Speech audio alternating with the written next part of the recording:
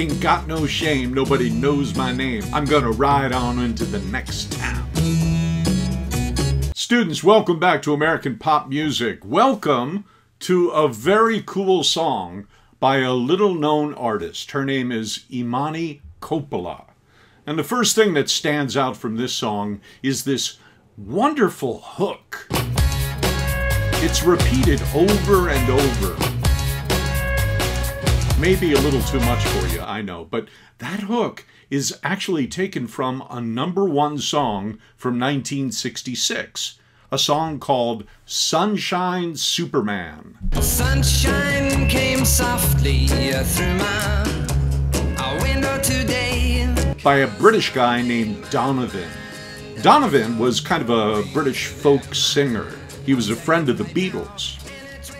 And this song was a hit in the hippie era of the 1960s. So it has a very psychedelic rock flavor to it. And using it in a song 30 years later, the artist borrows some of that hippie spirit nostalgia for that 60s era. So, this is a cool introduction to hip hop, a genre that is based on beats and rhymes, but also borrows very heavily from sampling old songs.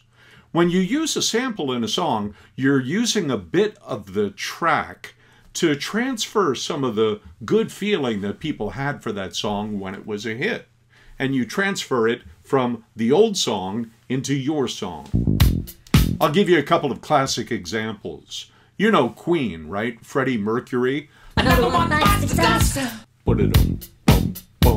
That bass line is from the song played by uh, John Deacon, a member of Queen. But John Deacon got that bass line right from the 1979 disco hit. Good times.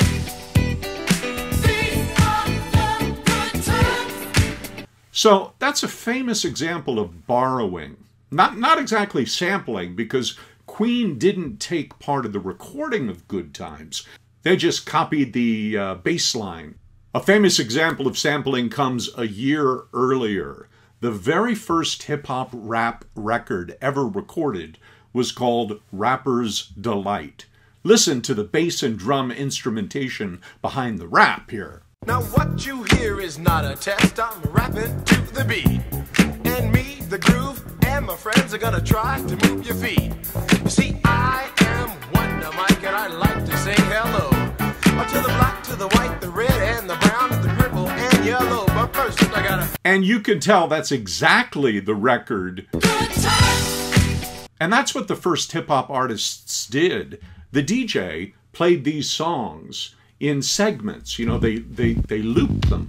And then the MC would come and spit rhymes over the beat. Hit me! Huh! Now, what you hear is not a test. I'm rapping to the beat. And me, the groove, and my friends are gonna try to move your feet. See, I am Wonder Mike, and I like to say hello to the black, to the white, to the red, and the brown, to the purple and yellow. But Good first, times. Are the good times. so sampling was a part of hip hop. Yeah, from its very beginning. Using it borrows some nostalgia, and it's done to create textures of sound in songs. So, back to Imani Coppola's song. Because of its sampling, we know that this song is a hip hop song. And the singer raps through the verses and sings on the chorus. So it's hip hop with a light touch, and it's got a little bit of quirkiness to it. You know, in the break toward the end, you hear this violin I mean, that's really unique. You wonder, well, what, what's a violin doing in this song? Well, I did some research and I found out that Imani Coppola is from a musical family. Her dad was a jazz performer and she was classically trained on the violin as well as the piano. And here's a cool point she was 19 years old when this song became a hit. Okay, a quick note. What is rap? Well, there are two answers. Number one, it's a musical style. We can say Kendrick Lamar, Jay Z, Eminem, and Cardi B write rap songs and perform them. But, number two, rap is also a vocal style. It started with hip hop, but now it's crossed into every genre of music. I mean, even Taylor Swift does a rap in Shake It Off. So there's there, there's a good example of rap vocal style in a pop song. In fact, rap has become so mainstream, it's crossed over into country music too.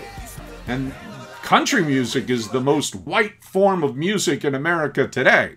So, Legend of a Cowgirl, what's the song about? It's a great statement of female independence. The woman in this song is a badass.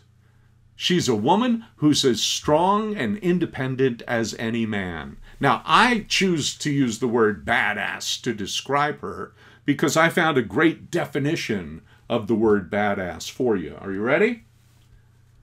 A tough, uncompromising, or intimidating person. And she is that. I mean, she's a woman who will choose her man. She doesn't wait around to get chosen. She's going to steal their hearts. She's never going to settle down. She's the woman with no name, no shame.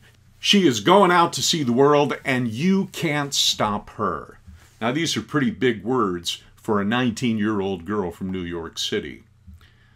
Cowboy is a pretty badass image, right? Cowboy drinks whiskey, does it with his hat and boots on, sleeps under the stars by the fire, shines his gun, right? Well, wait a minute, young lady. That's a man's job. You can't do that. In American cowboy mythology, the rugged individual of American myth is a man, not a woman. And to me, that's the joy of this song. She turns that myth 180 degrees. The tough cowboy is a badass woman. However, there's a dreamy refrain in between the verses that reveals that she's not actually this independent, tough cowgirl badass that she's singing about. She's just dreaming, wishing that she could be that woman. The music video clearly shows us that the singer is not the tough, independent woman that we hear about, but she's just a woman who is fantasizing about her possibilities. And the music video is very cool. In the first scene, you know, she's a tough cowgirl in jeans, taking any man she wants. She's intimidating, right? Then we see her as a queen aboard an alien spaceship with all these hunky guys who, who worship her. And finally, we see her as a singer, a star, a commanding presence on her own stage. This music video got a lot of play on MTV when it was released in 1997, and the video made the song an even bigger hit. This video is a big budget production and it's fun to watch. People enjoyed it. The video doesn't support the song's lyrics all the way through, but it does add greater depth to the fantasy of badassness, strength, adventure, success. So I chose this song for you as our light introduction to rap. Our first song, Miley Cyrus, was a pop song. Our second song was a country song. And song number three is a rap song about a cowgirl. Note that the first group of songs we're studying all have USA or American in the title, except for this song. With the term cowgirl, you know, that's not exactly American, but I think cowgirl is 100% American. I mean, you're not likely to see a cowgirl in Sakae or Shibuya or Paris. If you ever see a cowgirl, you'll see her in America. The New York Times in 1997 reviewed this song, calling it a sunny declaration of sexual independence. And I think that sums it up very nicely. What do you think about the song? Say what you want to say about the song or about this video down below in the comments, and see you next time.